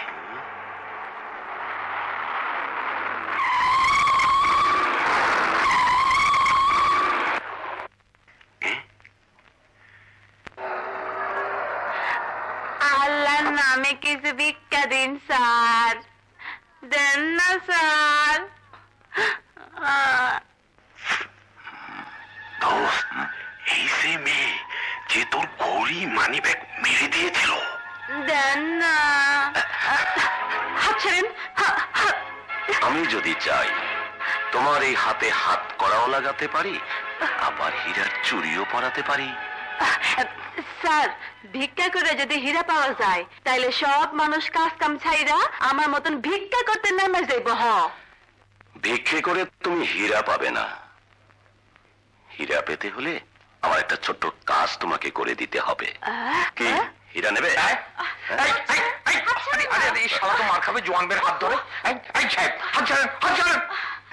কি এমন কাজ যা করলে আমরা হিরে পাবো? আগে বলো তুমি মেয়েটিরকে আমি? আমি ওর বাপ ধরে নাও তোমারও বাপ। না, মানে ইয়ে মুরব্বী। আইসে তুমি তাহলে ওর বাপ? ঠিক আছে বাপ বেটি ওঠো গাড়িতে। আমি তোমাদের কাজের কথা বলব তোমরা কাজের দামের কথা বলবে। ঠিক আছে? কমন বাবা? এই হলো সুযোগ। আর সুযোগ পাওয়া মাত্র লোকটাকে তুমি মেরে ফেলবে। যদি আমরা ধরা পড়ে যাই? ধ্যাত, আমরা কি খুন করবি তো তুই? স্যার। আমার খুনি হবে। খুন করলে আমাদের বাঁচাবে কে? তখন এই টাকাই তোমাদের বাঁচাবে। শোনো আজ থেকে তোমার নাম পরি নয় নুরি? নুরি? হ্যাঁ নুরি? নুরি? হ্যাঁ হ্যাঁ, নেরি নেরি হ্যাঁ ওর বোনের নামও তাই ছিল। আরও কিছু কথা তোমাকে মনে রাখতে হবে। সেটা হচ্ছে তোমার মাকে কেউ খুন করেছিল। তোমার বোনের ইজ্জত কেউ নষ্ট করেছিল। তোমার ভাবি কোথাও হারিয়ে গেছে। তোমার ভাই জেলে গিয়েছিল। হ্যাঁ। আর তুমি রাস্তায় ভিক্ষা করতে করতে বড় হয়ে গেছো। এই সুযোগটা মিলেছে কাহিনীটা ভালো। কিন্তু যার বোন সাজবো সে দেখতে কেমন? জাস্ট মিনিট হ্যাঁ দেখতে কেমন? লোক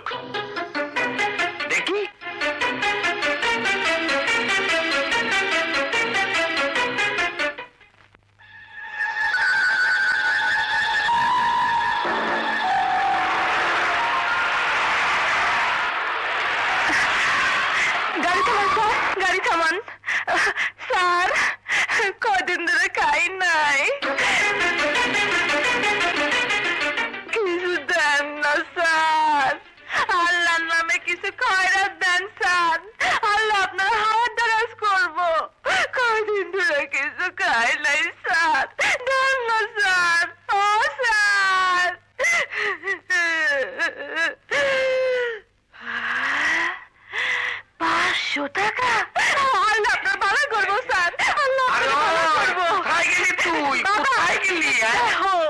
সাহেব আমারে পাঁচশো টাকা দিচ্ছে সাহেব আপনার মেহেরবানি।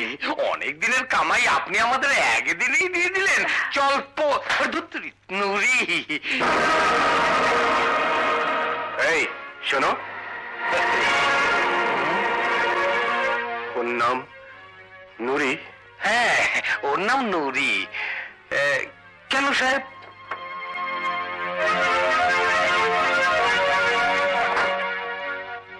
কারণ নামটা আমার। খুবই আপন। ও কি তোমার মেয়ে? নুরি আমার মেয়ে নয় সাহেব, তবে মেয়ের মতোই। সত্যি বলতে কি ও যখন খুব ছোট, তখন আমি ওকে রাস্তায় কুড়িয়ে পেয়েছিলাম। খিদায় কাতরে মেয়েটি তখন আমাকে বলেছিল ওর মা বোনকে কারা যেন মেরে ফেলেছে। ওর ভাবিকে খুঁজে পাচ্ছে না। আরও বলেছিল, ওর এক ভাই নাকি জেলে গেছে। চুপ করো চুপ করো, আর বলো না। নুরি বোন আমার, এত এত বড় হয়ে গেছিস তুই। তুই তুই আমাকে চিনতে পারছিস না নুরি আমাকে চিনতে পারছিস না। নুরি আমি আমি তোর ভাইজান। তোর মাসুম ভাইজান। ভাইজান? হ্যাঁ আমি তোর ভাইজান। তোর ভাইজান নুরি। মনে পড়ে তোকে আমি ছোটবেলায় কত কাঁদে নিয়ে ঘুরে বেরিয়েছি মনে পড়ে আমরা সবাই গ্রাম ছেড়ে শহরে এসেছিলাম। মনে পড়ে না? হ্যাঁ নুরি আমি তোর ভাইজান। ভাইজান!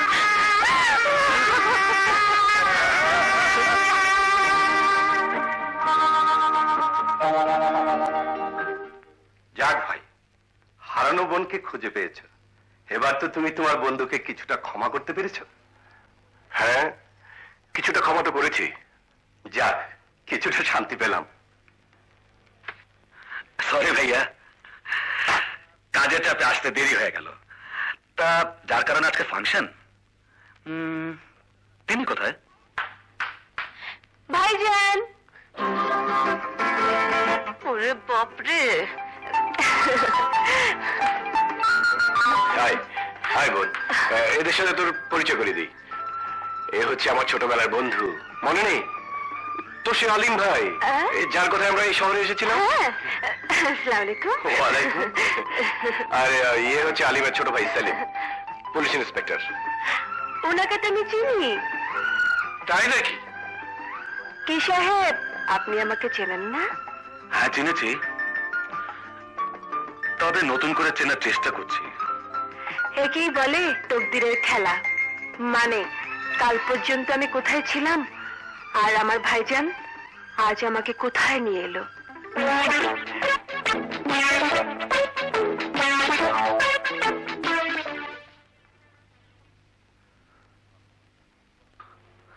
ভাইয়া হুম? কি ভাবছ? ভাবছি। মাসুমের উপর অজানা গুন্ডাদের মাসুমের উপর অজানা গুন্ডাদের আচমকা হামলা। তার কিছুদিন পরেই রাস্তার একটা ভিক্ষুক মেয়ে মাসুমের বোন হয়ে যাওয়া। সবকিছুই কেমন যেন আমার কাছে রহস্যময় লাগছে। তার মানে তুমি বলতে চাইছো নুরি মাসুম ভাইয়ের আপন বোন নয়? সঠিক বলতে পারছি না। তবে আমার কেন যেন সন্দেহ হয়? আমারও সন্দেহ হয়।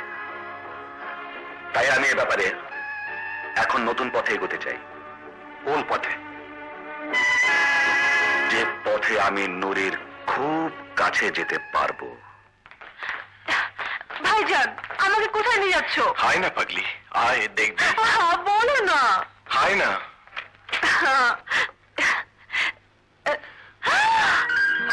এত পুতুল। এসব কি ভাইজান? মনে নেই।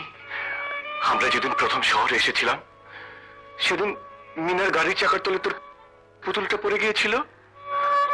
তারপর তোর ভাবি তোকে কত পুতুল এনে দিয়েছিল?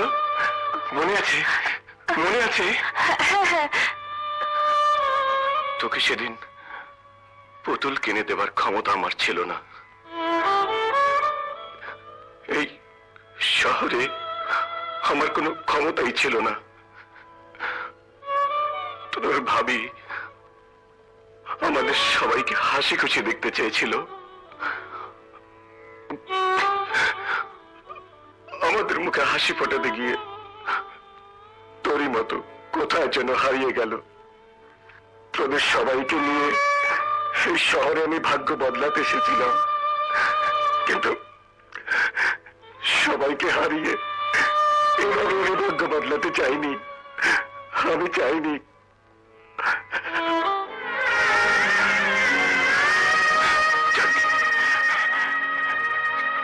তুই তো এখন অনেক বড় হয়ে গেছিস।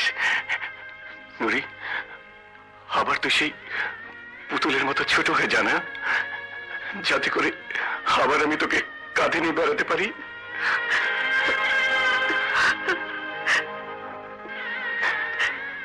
কি নুরি? কি হয়েছে তোর? কি হয়েছে? এই দেখো, পাগলি।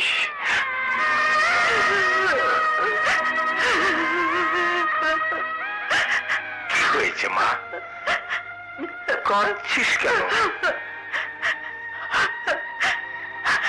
এমন একটা দুঃখী ভালো মানুষকে আমি ঢুকে দিতে পারব না, বাবা। সে যখনই আমাকে বোন বলে ডাকে, আদর করে, তখন আমি কান্না চেপে রাখতে পারি না। তখন আমি নিজেকে ঘৃণা করতে ইচ্ছে করে।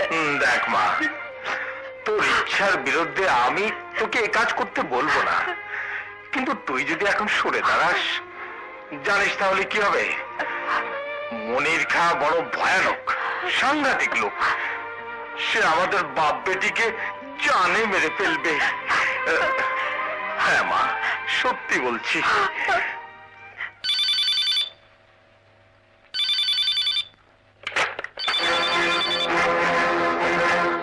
হ্যালো? হ্যালো আমি নাজমা। নুরিকে একটু দেবেন? নাজমার ফোন। নাজমা? ও হ্যাঁ হ্যাঁ। সেদিন পার্টিতে আমার সাথে আলাপ হয়েছিল। হ্যালো শোনো নুরি আজ বিকেল পাঁচটায় ঠিক পাঁচটায় দুই নম্বর মার্কেটের টাউন স্টোরে পৌঁছে যাবে। সেখানে আমার দলের মেয়ে নাজমা থাকবে। আচ্ছা হ্যাঁ হ্যাঁ আচ্ছা। তারপর সুযোগ পাওয়া মাত্র মাসুমকে তোমার শেষ করতে হবে। ঠিক আছে। আমার প্ল্যান অনুযায়ী যদি কাজ করতে না পারো তাহলে তোমাদের বাপ বেটি দুজনার জীবনে আমি শেষ করে দেব।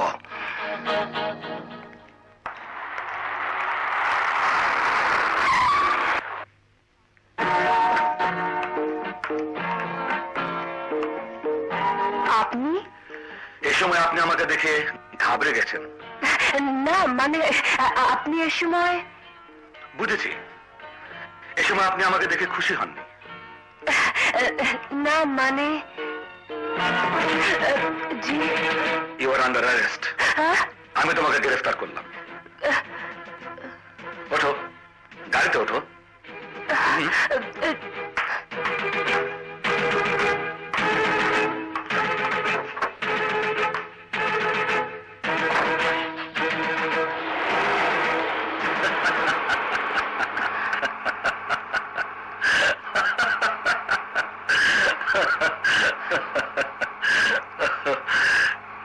কেমন চমকে দিলাম তোমাকে বলো তো?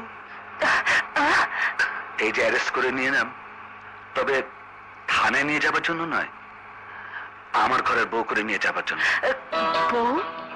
নুরি আজকাল আমার কিছু হয়েছে যতক্ষণ জেগে থাকি ততক্ষণ চিন্তা তুমি যখন ঘুমিয়ে পড়ি স্বপ্নেও তুমি এসে পড়ো। একই জাদু তুমি আমাকে করেছ? জাদু? হ্যাঁ। পাঁচটা!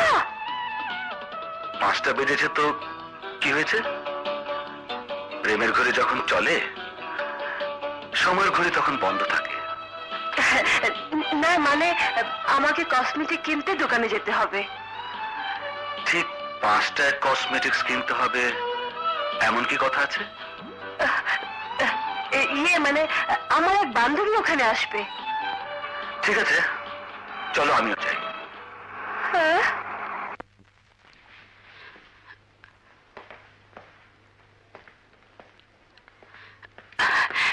লিপস্টিকে কয়েকটা শেড দেখান প্লিজ এক্সকিউজ মি আমি ওই কর্নারে একটা শার্ট দেখতে পারি? প্লিজ যান ওই শ্যাম্পুটা দেখান তো। ওই লোশন জানেন ওই পারফিউমটা দেখি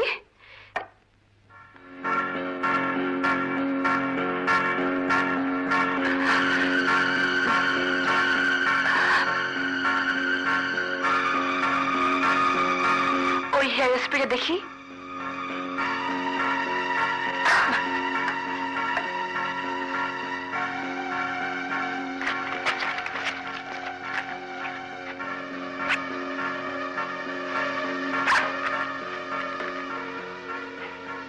এই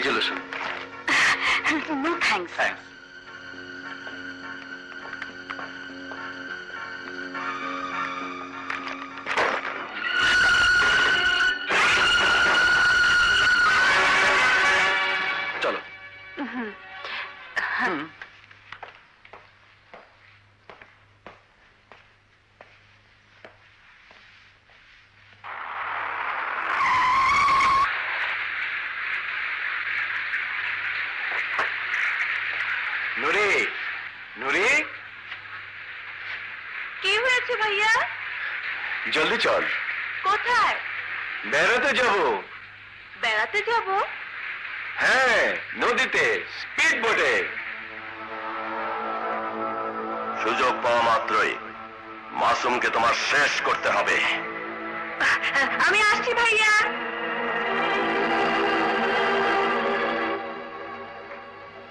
আমার প্ল্যান অনুযায়ী যদি কাজ করতে না পারো তাহলে তোমাদের বাপ বেটি দুজনার জীবনে আমি শেষ করে দেব।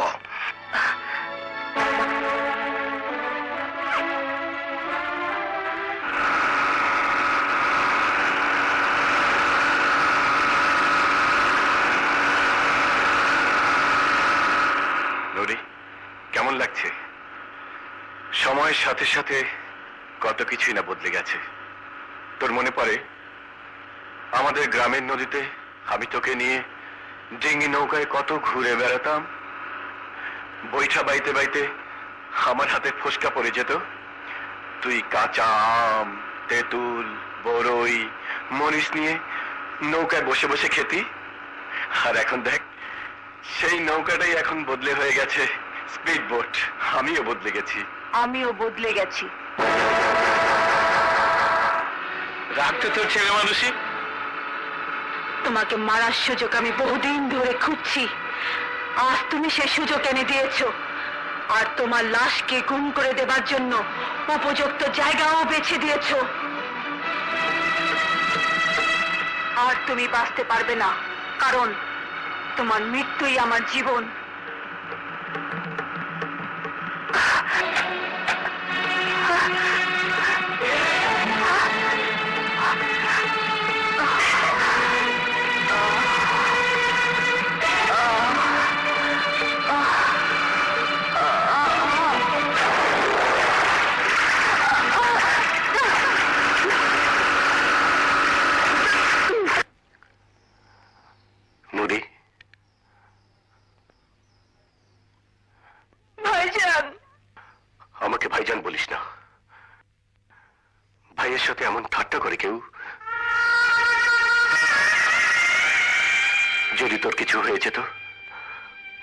পানিতে ডুবে যেতি তাহলে তো আমিও বাঁচতাম না।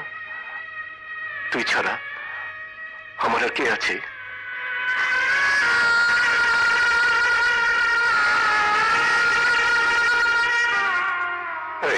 এমন ভাবে আমাকে কি দেখছিস? আমি সত্যি তোর উপর রেগে আছি। আর সারা দিন আমি খাব না। তোর সাথে কথাও বলব না। এটাই তোর শাস্তি, ঠিক আছে?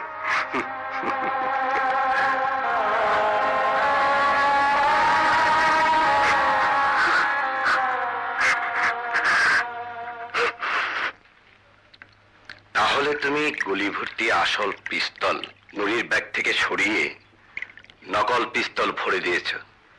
কি করে এই কাজ করলে? ভাইয়া নুরির প্রতি শুরু থেকে তোমার মতো আমার একটা সন্দেহ ছিল।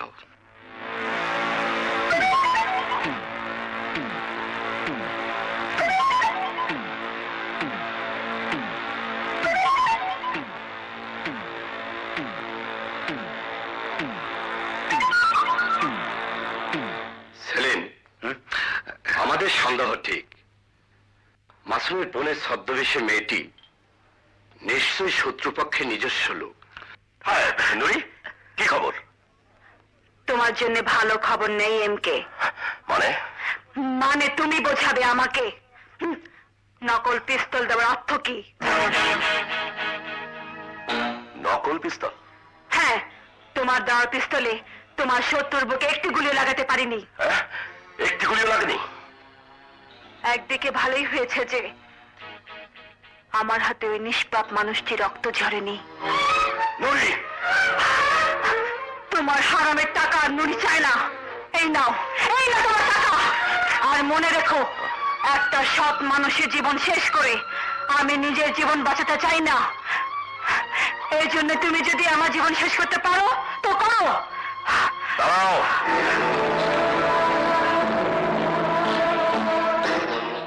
আসল পিস্তলের বদলে। নকল পিস্তলের মানে হচ্ছে, তোমার পেছনে কেউ না কেউ আছে। আমার শত্রুর নজরে তুমি যখন পড়েই গেছো, তখন তোমাকে বাঁচিয়ে রাখা যায় না।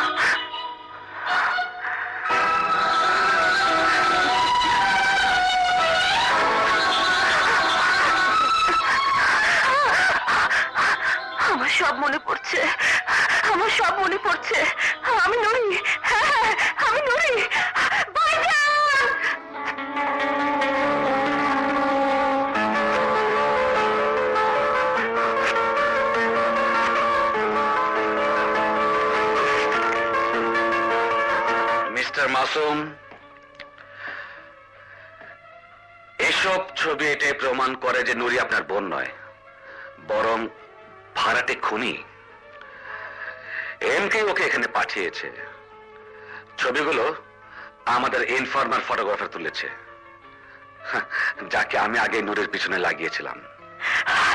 ভাইজান!